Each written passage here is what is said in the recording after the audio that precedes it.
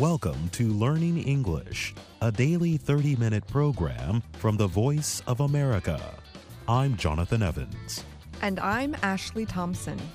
This program is aimed at English learners, so we speak a little slower and we use words and phrases especially written for people learning English. Today on the program, you will hear from Jill Robbins and Anna Mateo. Later, Steve Ember will present our American history series, The Making of a Nation. But first, want to see Chance the Rapper play jokes on Hollywood stars? Enjoy a new action movie starring Liam Hemsworth and Christoph Waltz? Or would you like to watch a six minute version of the American news show 60 Minutes? Well, there is an app for all that and more. Quibi, a combination of the words quick and bite, is for mobile phone use only. The streaming service will release short parts of movies and TV shows each weekday. And every day, Quibi will provide news, sports, and weather programming under the name Daily Essentials. In all, the app plans to offer more than 175 programs this year. Quibi launched Monday in the United States and Canada with a 90 day free trial and 50 programs. The programs are no longer than 10 minutes each. They include Punk'd with Chance the Rapper, the Hemsworth Waltz movie Most Dangerous Game, and Chrissy's Court, with model Chrissy Teigen serving as judge of small claims cases. Others who have signed on to either produce or appear in Quibi content include stars Reese Witherspoon, Joe Jonas, Jennifer Lopez, Lena Waithe, and Sophie Turner. The former head of Walt Disney Studios and DreamWorks Animation, Jeffrey Katzenberg, established Quibi. He named former Hewlett Packard leader Meg Whitman as the chief of the new streaming company. Whitman also served in leadership positions at Disney and DreamWorks. For Katzenberg, it is the product that will make Quibi a winner. In all my years, there is one rule that has never failed, ever, he said.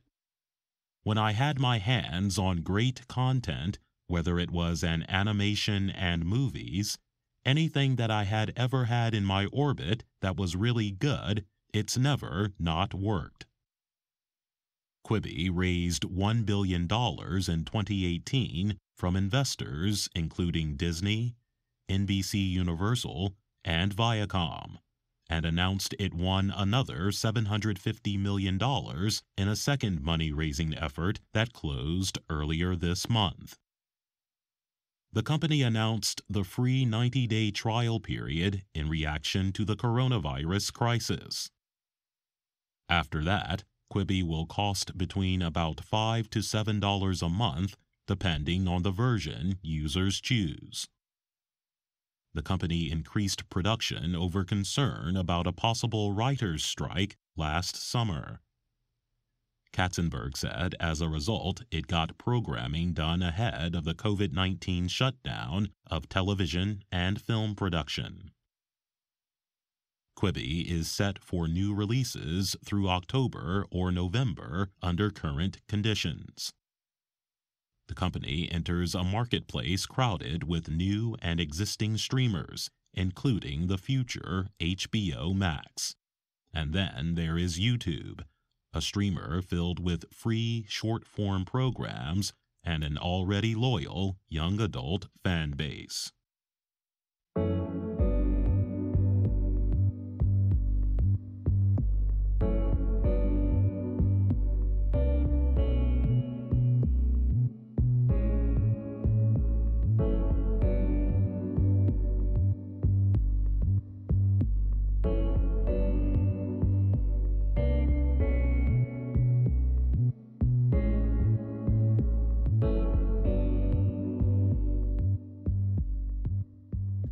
Pinkney remembers the fear she felt when the coronavirus she suffered from made it very difficult to breathe. So, when she recovered, the New York City woman became one of the country's first survivors to donate her blood. That blood may now help other seriously ill patients. Pinkney told the Associated Press, It was overwhelming to know that in my blood there may be answers. Doctors around the world are reusing a treatment for infections that is about 100 years old, giving blood plasma from recovered patients to sick ones. Plasma is the yellowish liquid part of blood. The blood from former patients is filled with immune molecules that can help survivors defeat COVID 19, the disease caused by the coronavirus. Such donations have already been made by recovered patients in Houston and New York. Now, hospitals and blood centers in other areas are preparing for possibly hundreds of survivors to donate. Doctors do not know if the treatments will be successful. This is a call to action, said Dr. David Reich. He is president of New York's Mount Sinai Hospital, which collected Tiffany Pinkney's blood. People feel very helpless in the face of this disease. And this is one thing that people can do to help their fellow human beings, he added. The treatment was used during the 1918 flu pandemic. It was also used to fight several other infections before modern medicine found new antiviral drugs. During an infection, the body starts making antibodies designed to attack the germ that has invaded the body. These antibodies stay for months or years in the blood plasma of survivors. This treatment can be used while scientists search for a vaccine or a new drug. It is a temporary measure that can be put into place quickly, said Dr. Jeffrey Henderson. He is from Washington University School of Medicine in St. Louis he is putting together a study about the treatment. This is not a cure, but rather it is a way to reduce the severity of illness, Henderson said. Doctors don't know how long survivors' antibodies will stay in their plasma. Last week, the Food and Drug Administration told hospitals how to request emergency permission to use the treatment. Houston Methodist Hospital, and Mount Sinai both asked immediately. The public also answered requests from hospitals for donations. Michigan State University had more than 1,000 people sign up for the National COVID 19 Convalescent Plasma Project. The group was formed by hospitals hoping to increase plasma donation for research. Survivors who want to donate blood cannot just walk into a blood center. They must prove the virus is gone and that they have been free of symptoms for several weeks. They also must have a high level of antibodies in their blood. Chinese doctors reported last week that five people treated with plasma from former patients all began to improve a week later but they also received other treatments, so there is no way to know if the plasma caused the improvements. In a North Carolina factory, Spanish chemical company Grifols is trying to recreate a version of donor plasma that is filled with a large amount of antibodies.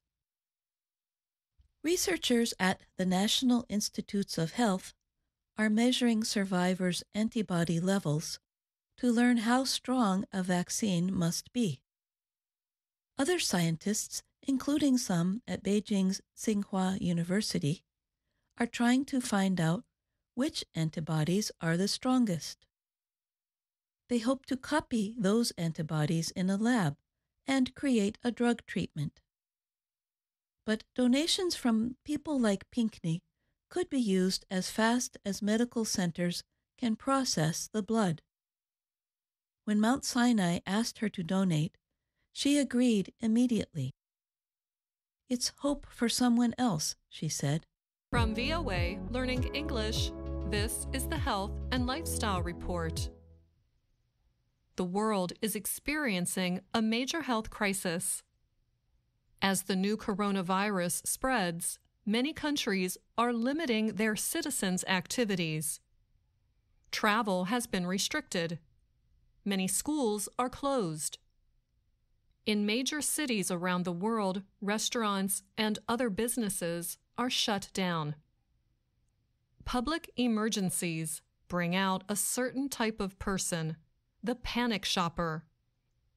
Some people fear not being able to find basic needs for survival. So they buy everything off supermarket shelves in preparation for the days to come. Bread is often among the first products to disappear in emergency situations.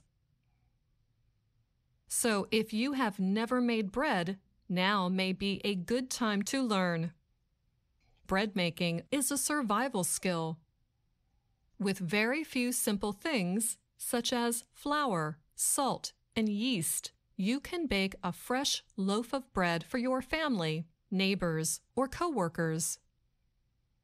Baking is not just a useful survival skill. It can make you feel better at stressful times. In fact, baking and cooking have been used to treat people with mental health issues. Julie Ohana is a social worker. She offers what she calls culinary therapy to her patients in New York City. I say therapy because to me, cooking is so therapeutic. And therapeutic really means something that makes you feel good, something that, that is helpful and beneficial to the person doing it. Julie Ohana uses culinary therapy to help people overcome many kinds of issues. She explains that culinary therapy works on many levels. So, when you're in the kitchen, whether you're cooking or you're baking, it really requires a certain level of mindfulness, of being present in the moment. Specifically, when you're baking, and baking really requires step by step following a recipe, uh, being more precise, kneading the dough or rolling something out. You really, you really get the full benefit of being present in the moment and being able to relax and put aside all the other thoughts and just, you know, focus on the here and now. And there really are very strong benefits of being able to do that, to be able to relax, to, to decompress, de stress, um, and really increase one's level of life satisfaction. Ohana says baking is a process filled with love. It not only makes you feel good, it produces something tangible, something you can touch and eat. Ohana calls baking a labor of love. And when you bake, you go through this whole process, and it really is a labor of love. And you end up with the finished product that not only is it tangible, but it's edible and it's delicious. Often, our food experiences are tied to family memories and stories. We remember meals our grandmothers made we teach our children important recipes for family favorites. Ohana says something that all bakers know. Giving delicious baked goods makes the giver feel as good as the receiver. So she calls baking a win win. Um, to be able to pass that on to someone else certainly can make the day for the person receiving it, but it's also just as powerful for the person who's giving the baked goods. It's a win win. It's not just something purely that you do for the other person. The baker, the cook, really gets to benefit from the act as well. And that's the Health and Lifestyle Report. I'm Anna Mateo.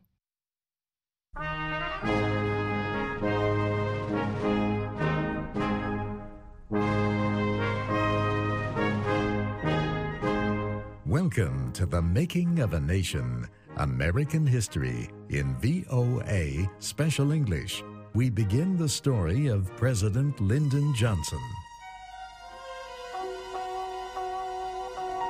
From Dallas, Texas, the flash, apparently official, President Kennedy died at 1 p.m. Central Standard Time, 2 o'clock Eastern Standard Time. Lyndon Baines Johnson became America's 36th president suddenly. Vice President Lyndon Johnson has left the hospital in uh, Dallas. Uh, presumably, he will be taking the oath of office shortly and become uh, the 36th President of the United States. On November 22, 1963, President John F. Kennedy was murdered.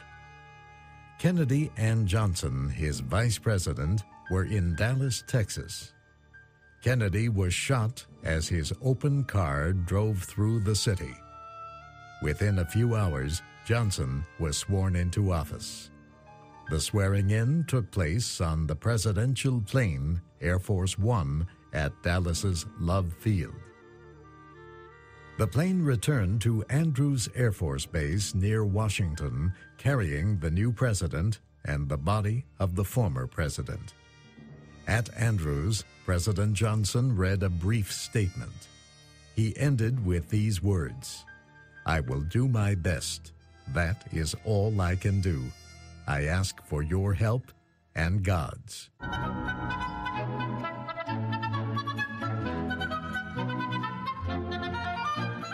Before he was vice president, LBJ had served for many years in the Senate and the House of Representatives. He grew up in small towns in Texas. He finished high school at age 15. He traveled and worked for a few years before he entered Southwest Texas State Teachers College. There, he was a student leader and a political activist. In 1931, a newly elected congressman asked Johnson to work for him as his secretary in Washington. Four years later, President Franklin Roosevelt appointed Johnson as Texas Director of Roosevelt's National Youth Administration. Two years after that, in 1937, Johnson won a special election for a seat in the House of Representatives. He served in the House for 12 years. When the United States entered World War II, Johnson was the first member of Congress at that time to volunteer for active duty. After the war, he ran for the Senate, where he also served for 12 years. Johnson loved politics and became an expert in the operations of government. He would need all of that knowledge as president of a nation facing problems near and far.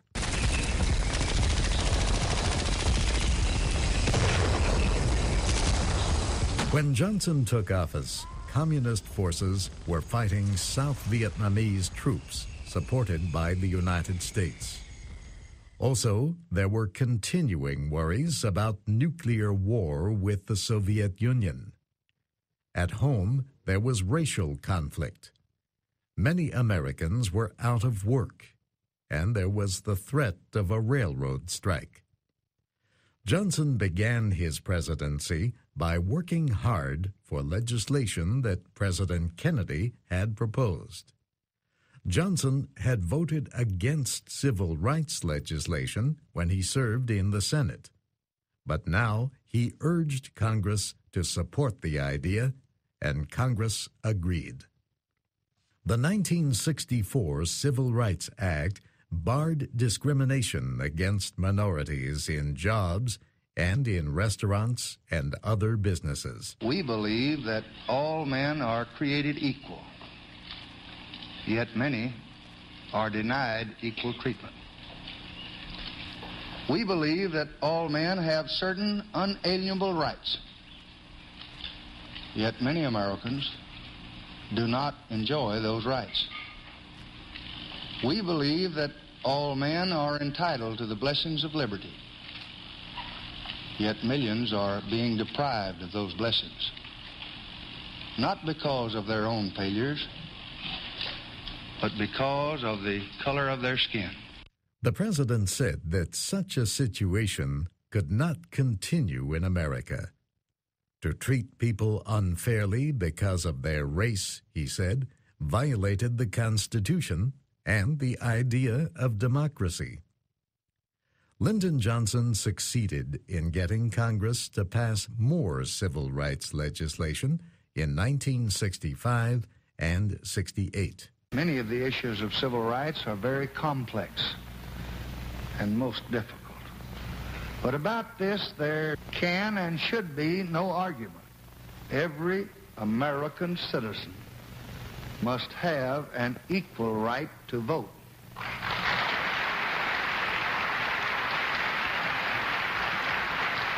There is no reason which can excuse the denial of that right. There is no duty which weighs more heavily on us than the duty we have to ensure that right. Many southern states used so called literacy tests as a way to deny blacks the right to vote. The Negro citizen may go to register only to be told that the day is wrong, or the hour is late, or the official in charge is absent. And if he persists, and if he manages to present himself to the registrar, he may be disqualified because he did not spell out his middle name or because he abbreviated a word on the application. And if he manages to fill out an application he is given a test. The registrar is the sole judge of whether he passes this test. He may be asked to recite the entire Constitution or explain the most complex provisions of state law. And even a college degree cannot be used to prove that he can read and write. The Civil Rights Act of 1965 said states could not prevent citizens from voting just because they could not read very well. The 1968 law barred discrimination against blacks in housing. Johnson was from the South. That and his ability to persuade people helped him get Southern conservatives in Congress to support the civil rights legislation. He also had other ideas for a better America. He called his plan the Great Society. He talked about it in a speech at the University of Michigan. The Great Society rests on abundance and liberty for all. It demands an end to poverty and racial injustice, to which we're totally committed in our time.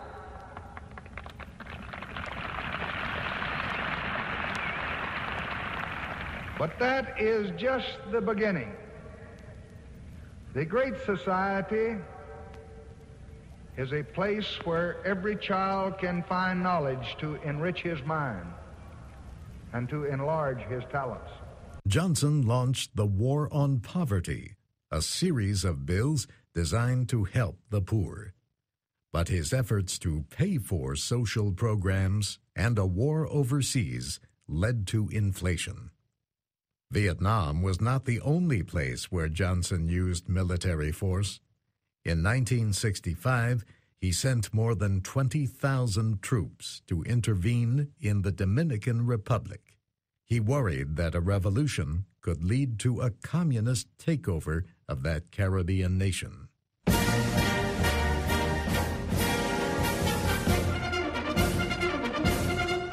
Lyndon Johnson served the last 14 months of President Kennedy's term. Then, in 1964, he ran for a full term. The Democratic Party strongly supported him and accepted his choice of Hubert Humphrey for vice president. Humphrey was a liberal senator from the state of Minnesota.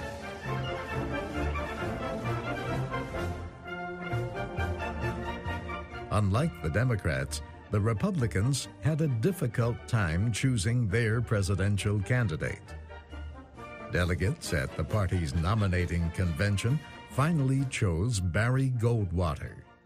Goldwater was a strongly conservative senator from Arizona. Certainly, simple honesty is not too much to demand of men in government. And let our republicanism so focused and so dedicated not be made fuzzy and futile by unthinking and stupid labels.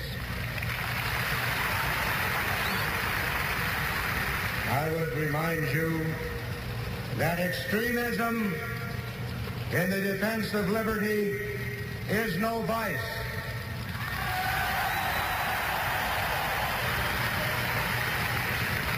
And let me remind you also that moderation in the pursuit of justice is no virtue.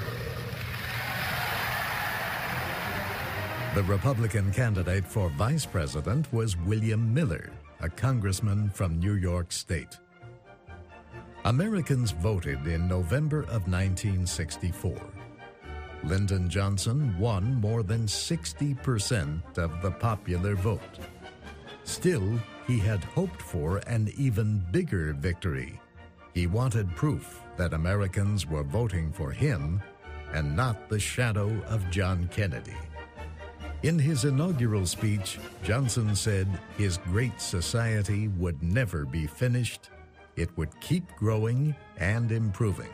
I do not believe that the Great Society is the ordered, changeless, and sterile battalion of the ants. It is the excitement of becoming, always becoming, trying, probing, falling, resting, and trying again. But always trying and always gaining. In 1965, he won congressional approval of Medicare, a health insurance program for Americans age 65 and older. President Harry Truman had called for such a plan 20 years earlier. Johnson presented Truman and his wife Bess with Medicare cards numbers 1 and 2.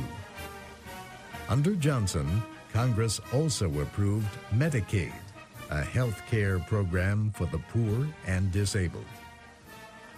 In 1967, President Johnson appointed the nation's first black justice to the Supreme Court, Thurgood Marshall.